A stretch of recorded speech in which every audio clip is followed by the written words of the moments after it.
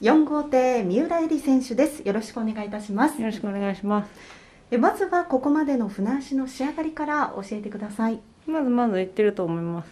はい、えー何か特徴や気に入っている部分などはありますか？特徴は特にないですけどはい。乗りやすい具です。はい。もう準優勝戦も感触は悪くなかったですか？